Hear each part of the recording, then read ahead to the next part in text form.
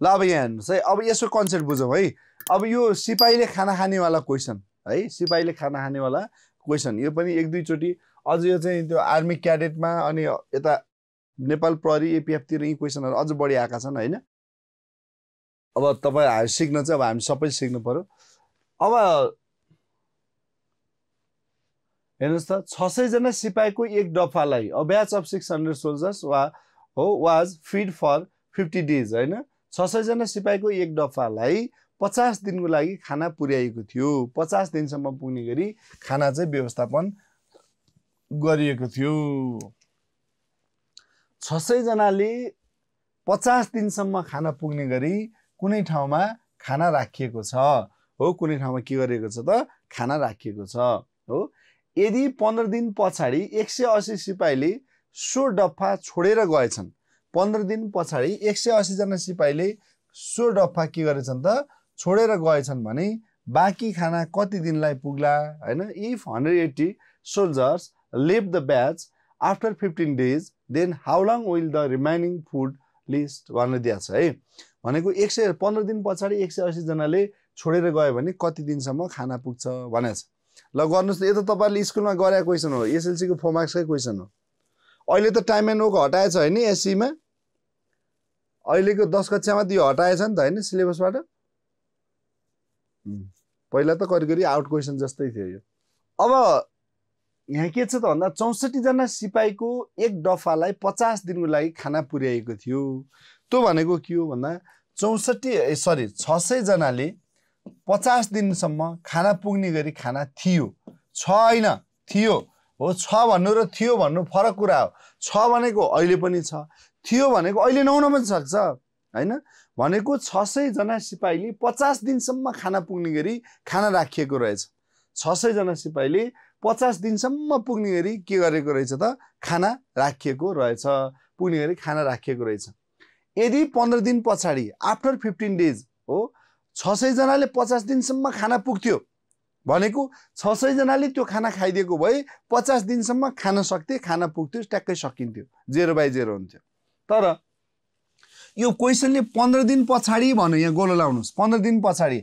After fifteen days खोइ कहाँ छ यहाँ हेर्नुहोस् आफ्टर फिफ्टिन डेज ए पन्ध्र दिन पछाडि। हो पन्ध्र दिन पछाडि। यो पन्ध्र दिन पछाडि भनेको के हो भन्दा पन्ध्र दिन खाए भनेको हो कि साथीहरू? ल हेर्नुहोस् पन्ध्र दिन पछाडि भनेको पन्ध्र दिनसम्म खाइसके भनेको। जस्तै तपाईँले आजदेखि तिस दिनसम्म पुग्ने गरी चामल किन्नुभयो। आजदेखि तिस दिनसम्म पुग्ने गरी चामल किन्यौँ हामीले। अबको पन्ध्र दिन पछाडि भनौँ क्वेसनले। भने पन्ध्र दिनसम्म तपाईँ कुरेर बस्नुहुन्छ कि त्यो चामल खानुहुन्छ त? तिस दिनसम्म पुग्ने चामल किनेर ल्याइएको थियो घरमा। पन्ध्र दिन पछाडि भन्नुपर्छ पन्ध्र दिनसम्म खाइन्छ कि? यो प्रश्नमा जति दिन पछाडि भन्छ त्यति दिन खाए भनेर बुझ्नुपर्छ। हेर्नुहोस् है जति दिन पछाडि भन्छ त्यति दिन खाए भनेर हामीले बुझ्नुपर्छ भन्ने कुरा हामीले जान्नु पर्यो हो? जति दिन पछाडि भन्छ त्यति दिनसम्म खाए भनेर हामीले बुझ्नु पर्यो। पन्ध्र दिन पछाडि भन्नुपर्छ पन्ध्र दिनसम्म त्यो खाना खाए। पचास दिनसम्म पुग्ने गरी थियो पचास मध्ये पन्ध्र दिन पछाडि भन्नुपर्छ पन्ध्र दिनसम्म त्यो खाना खायो भने अब त्यो खाना कति दिनको लागि बाँकी छ? अब त्यो खाना बाँकी कति दिनको लागि छ? भन्दा अब पैँतिस दिनको लागि त्यो खाना बाँकी छ। ल यति कुरा नबुझेको कोही हुनुहुन्छ भने सोधौँ है। त्यो छ सयजनाले पुरै खाइदिएको भए तपाईँले पचास दिनसम्म खाना पुग्ने खाना थियो। पचास दिनसम्म पुग्ने खाना थियो। तर पचास मध्ये पन्ध्र दिन पछाडि भन्नुको अर्थ पन्ध्र दिन पछाडि भन्नुको अर्थ पन्ध्र दिनसम्म खाइसके। पचास मध्ये पन्ध्र दिन खाइसके। पन्ध्र दिन खाइसकेपछि अब त्यो कति दिनको लागि बाँकी रह्यो त? पैँतिस दिनको लागि बाँकी रह्यो। भने अब छ सय यो पैँतिस दिनको खाना कतिजनाले खाने हो? ल लेख्नुहोस् त। त्यो पैँतिस दिनको खाना कतिजनाले खाने हो? यो पैँतिस दिनको खाना यही छ सयजनाले नै खाने हो कि साथीहरू? यही छ सयजनाले नै खाने हो। हो यहाँ चाहिँ हेर्नु है। छ सयजनाको लागि पचास दिनसम्म छ। भाषामा बुझ्नुहोस् न। छ सयजनाको लागि पचास दिनसम्म पुग्ने छ। यो छ सयजनाले पचास दिनसम्म खाना पुग्ने गरी खाना किनिएको छ। तर त्यो पचास मध्ये पन्ध्र दिन पछाडि भन्नुको अर्थ पचास मध्ये पन्ध्र दिनसम्म तिनीहरूले खाना खाइसके पचासको पन्ध्र दिन खायो भने बचेको पैँतिस दिन पनि यही छ सयजनाले खानुपर्ने होइन? पचास मध्ये पन्ध्र दिन खाए अरू पैँतिस दिन पनि यही छ सयजनाले पैँतिस दिनसम्म खाइदिने हो भने त्यो खानै सिद्धिन्छ। त्यो छ सयजनाले नै पैँतिस दिनसम्म खाइदिएको भए त्यो खानै सिद्धिन्थ्यो। खानै सिद्धिएपछि आनन्दै हुन्थ्यो क्वेसन पनि बन्दैन थियो खानुपर्ने चाहिँ यही छ सयजनाले पैँतिस दिनसम्म खायो भने खानै सिद्धिने हो। तर खानुपर्ने थियो छ सयजनाले पैँतिस दिनसम्म। तर त्यहाँ मध्येका एक सय असीजनाले हामी यो खाना खाँदैनौँ भने विद्रोह गरे खाना छोडिदिए छ सयजनाले खाएको भए पैँतिस दिनमा सिद्धिन्थ्यो। तर छ सयजना मध्ये एक सय असीजनाले हामी यो खाना खान्नौँ भनेर छोडिदिए भने अब छ सयजनाले पैँतिस दिनसम्म खानुपर्ने खाना एक सय असीले छोड्यो भन्नुको अर्थ चार सय बिसजनाले चाहिँ कति दिनसम्म खाना पुग्छ भनेर सोधेको हो कि त्यही खाना? खानुपर्ने त्यो छ सयजनाले पैँतिस दिनसम्म खाइदिएको भए सिद्धिने खाना छ सय मध्ये एक सय असीले छोडेर गइदिए भन्नुको अर्थ बचेको चार सय बिसजनाले खाँदा चाहिँ कति दिनसम्म पुग्छ त त्यो खाना भनेर क्वेसनले सोधेको चाहिँ यो हो। ल कन्सेप्ट क्लियर भएपछि क्लियर भयो सर भन्नुहोस् अब म तपाईँहरूलाई ट्रिक सिकाउँछु कन्सेप्ट क्लियर भएपछि क्लियर भयो भन्नु म ट्रिक सिकाउँछु है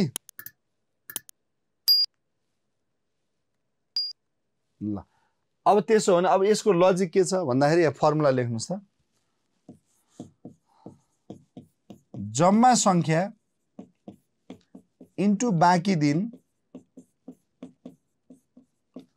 अपन बाँकी रहेका मानिसको सङ्ख्या।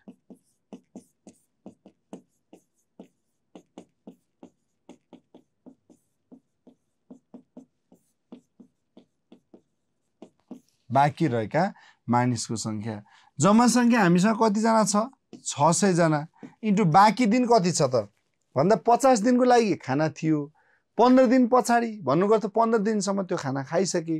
पन्ध्र दिन पछाडि भनेको पन्ध्र दिनसम्म खाइसके। अब कति दिन बाँकी रह्यो त? भन्दा पैँतिस दिन बाँकी रह्यो। छ सय इन्टु पैँतिस। अपन छ सयजना मध्ये एक सय असीजनाले छोडेर गए। छ सयजना मध्ये एक सय असीजनाले छोडेर गयो भने कतिजना बाँकी रह्यो त भन्दा? चार सय बिस।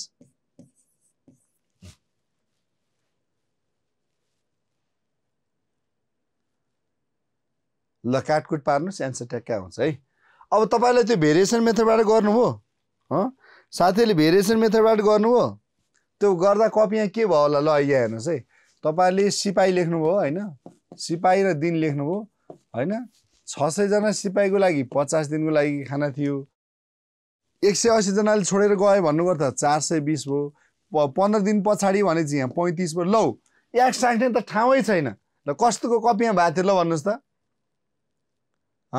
एक्स राख्ने त ठाउँै छैन ल यस्तो बनाउनु भएको थियो। कसो कपी यहाँ भएको थियो ल लेख्नु नि च्याटमा। के फरक पर्छ र? यहाँ अरूले चिन्ने होइन कि? होइन मैले मात्र चिन्ने त हो नि। अहिले बनाउँदा यहाँ यस्तो क्वेसनमा धेरै यस्तो भइरहेको हुन्छ कि। छ सयजनाको लागि पचास दिन पन्ध्र दिनपछि भनेको पैँतिस दिन एक सय असीले छोड्यो भने चार सय बिस। लौ एक चाहिँ कहाँ राख्ने त? भएको थियो। ल।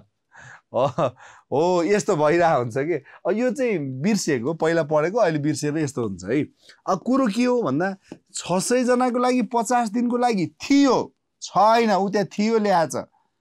पन्ध्र दिन पछाडि पहिला चाहिँ पचास दिनसम्मै थियो। पन्ध्र दिन पछाडि भन्नु गर्दा छ सय माइनस पन्ध्र गर्दा यहीँ पैँतिस चाहिँ यहीँ भयो कि।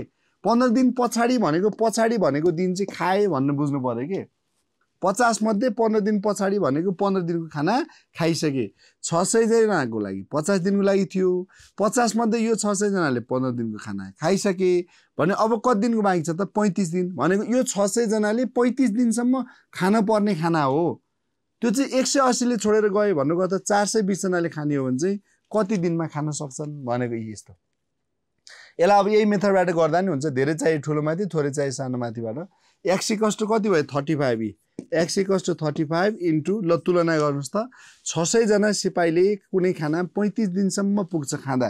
छ सयजनाले पैँतिस दिनसम्म खाना पुग्ने खाना त्यही खाना छ सयले पैँतिस दिनसम्म खाना पुग्ने खाना यदि चार सय बिसजना मानिसले खाने हो भने यो पैँतिसभन्दा अझै धेरै दिनसम्म खाना पुग्छ कि थोरै दिनसम्म पुग्छ? ल भन्नुहोस्।